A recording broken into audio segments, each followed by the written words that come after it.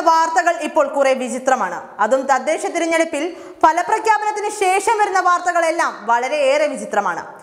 എടുത്തു പറയേണ്ട വസ്തുത എന്തെന്നാൽ ഈ വിചിത്ര സംഭവങ്ങൾ ചെയ്യുന്നവരെല്ലാം പിടിക്കപ്പെട്ടു കഴിഞ്ഞാൽ മാനസിക രോഗികളായി മാറുന്നു എന്നതാണ്.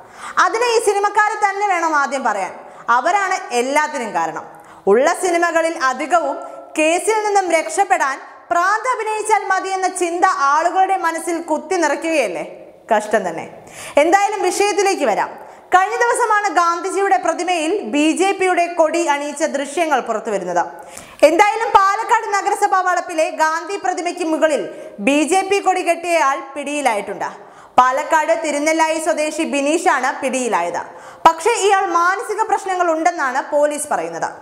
അത് മാത്രമാണ് മനസ്സിലാക്കാത്തത് പിടിയിലായി കഴിയുമ്പോൾ പിന്നെ അവർ മാനസിക രോഗി കഴിഞ്ഞ ദിവസം വന്ന വാർത്തയാണ് നടി അഹാനയുടെ വീട്ടിൽ അതിക്രമിച്ചു കയറിയ യുവാവിന്റെ വാർത്ത.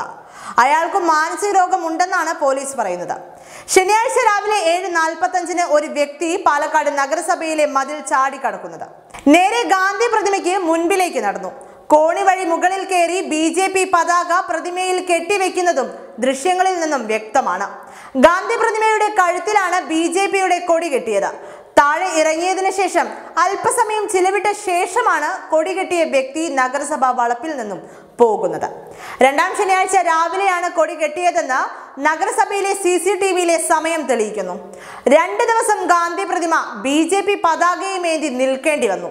സംഭവം വിവാദമായതോടെ കോൺഗ്രസിന്റെ നഗരസഭാ കൗൺസിലർമാർ പ്രതിഷേധവുമായി എത്തി പോലീസ് സംഭവസ്ഥലത്തെത്തി പതാക നീക്കി.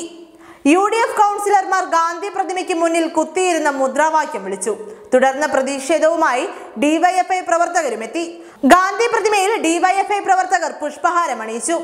എന്നാൽ കൊടികെട്ടിയതിൽ ബി ജെ പിക്ക് പങ്കില്ലെന്നാണ് ജില്ലാ പ്രസിഡന്റ് ഇ കൃഷ്ണദാസിന്റെ പ്രതികരണം.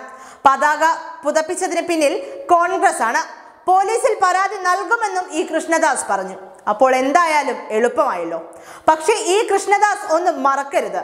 തദ്ദേശ തെരഞ്ഞെടുപ്പ് വിജയാഘോഷ പ്രവർത്തനത്തിനിടെ ബി ജെ പി പ്രവർത്തകർ നഗരസഭയ്ക്ക് മുൻപിൽ ജയ് ശ്രീറാം ബാനർ തൂക്കിയ വിഷയം മറന്നിട്ടില്ലെങ്കിൽ ഒന്ന് ഓർമ്മിപ്പിക്കുകയാണ്. കാരണം ഇതുവരെയും പാലക്കാട് ഇത്തരം സംഭവങ്ങൾ ഒന്നും തന്നെ റിപ്പോർട്ട് ചെയ്തിട്ടില്ല. പിന്നെ ഇപ്പോൾ എങ്ങനെ സംഭവിക്കുന്നു? അത് മാത്രമല്ല ഇത്തരം പ്രവർത്തികൾ എല്ലാം ചെയ്യുന്നവർ എങ്ങനെയാണ് മാനസിക രോഗികളാകുന്നത്? പാലക്കാടിലുള്ള മുഴുവൻ ആളുകളും ഇനി മാനസിക രോഗികളാണെന്ന് പറയുമോ? അങ്ങനെ വന്നാൽ ചിലപ്പോൾ തെരഞ്ഞെടുപ്പ് ഒന്നുകൂടി നടത്തേണ്ടി വരും. എന്തായാലും ആരുടെയെങ്കിലും ഒക്കെ വാക്ക് കേട്ട് യഥാർത്ഥ കുറ്റവാളികളെ നിയമത്തിന്റെ മുന്നിൽ കൊണ്ടുവരാതെ മാനസിക രോഗിയാക്കി മാറ്റിയാൽ പണി കിട്ടുക പോലീസിനെ ആയിരിക്കും. അല്ലാതെ ഈ ബുദ്ധി ഒത്താശ ചെയ്തു തന്ന ആർക്കും തന്നെ ഒന്നും സംഭവിക്കാൻ പോകുന്നില്ല. അതുകൊണ്ട് സ്വന്തം ജോലി കാര്യക്ഷമമായി മാത്രം ചെയ്യുക. വാർത്തയിലെ സത്യവും കള്ളവും ഒക്കെ തിരിച്ചറിയാൻ കഴിയുന്നവർ ഇപ്പോൾ സമൂഹത്തിലുണ്ട്. അത് മറന്ന് ആരും പ്രവർത്തിക്കേണ്ട. എന്തായാലും കാത്തിരിക്കാം. ഇനി ഏതെല്ലാം മാനസിക രോഗികൾ എന്തെല്ലാമാണ് പാലക്കാട്ടിൽ ചെയ്യാൻ പോകുന്നത് എന്ന്.